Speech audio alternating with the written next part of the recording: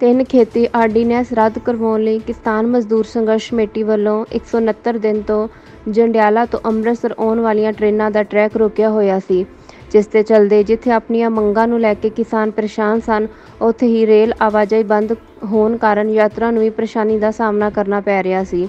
Rail ਵਿਭਾਗ ਵੱਲੋਂ ਆਰਜੀ ਤੌਰ ਤੇ ਵਾਇਆ ਤਰਨਤਾਰਨ ਟ੍ਰੇਨਾਂ ਅੰਮ੍ਰਿਤਸਰ ਭੇਜੀਆਂ ਜਾ ਰਹੀਆਂ ਸਨ, ਜਿਸ ਦੇ ਚਲਦੇ ਯਾਤਰਾ ਨੂੰ ਖਾਸੀਆਂ ਮੁਸ਼ਕਲਾਂ ਦਾ ਸਾਹਮਣਾ ਕਰਨਾ ਪੈ ਰਿਹਾ ਸੀ।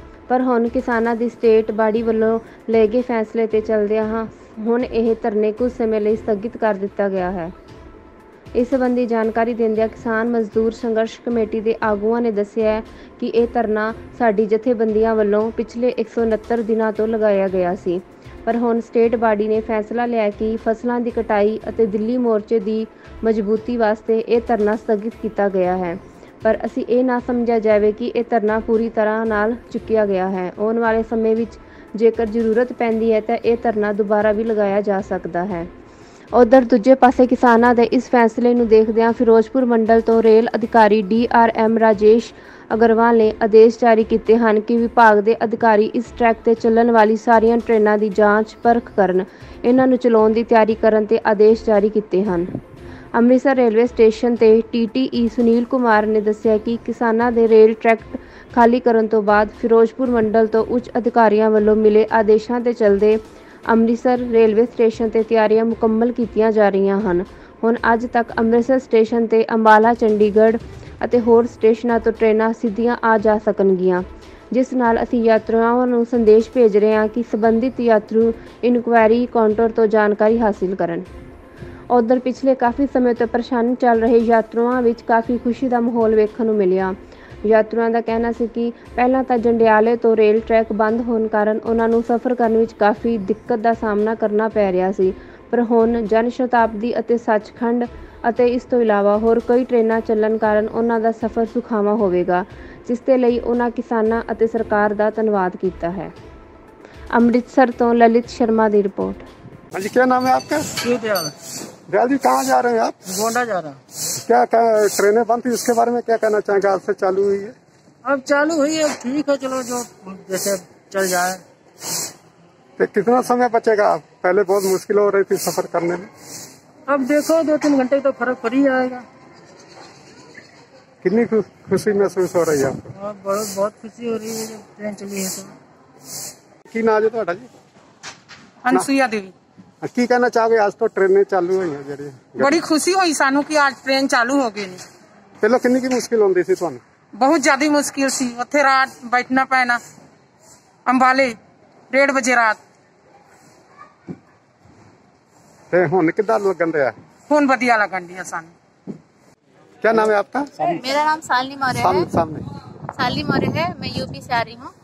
अमृतसर से ट्रेनें बंद थी इसके बारे में बहुत मुश्किल आ रही थी। क्या कहना चाहेंगे? आज चाल, आज से चालू जी मुश्किलें तो बहुत आ रही थी। जैसे खर्चा भी ज़्यादा पड़ रहा था बस से सफ़र करना काफ़ी मतलब कि ज़्यादा कॉस्टली पड़ जा रहा था।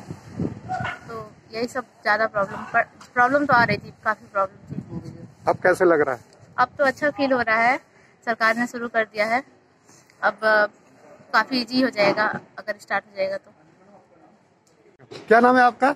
विजय। विजय जी ट्रेनें आज से चालू हुई है पहले बंद था क्या कहना चाहेंगे इसके बारे हाँ में? जी इससे पहले लॉकडाउन जब लगे थे तो ट्रेनें बंद थी तो इसमें हम लोग फंसे थे तो अब गाड़ी आज से चालू हुई है जो बिहार अमृतसर से बिहार जाने के लिए तो हम लोग चल रहे हैं बिहार। कैसे लग रहा है? हाँ जी। पहले समय ज़्यादा लगता था अब कम लगेगा ये कैसे लग रहा है? नहीं ठीक है अब खुली है तो सुविधा हो गई है हम लोग के लिए। हाँ जी कोई दिक्कत नहीं है। लाख लाख धन्यवाद है। क्या नाम है आपका? राजेश कुमार कहाँ जाना आपको? बनारस।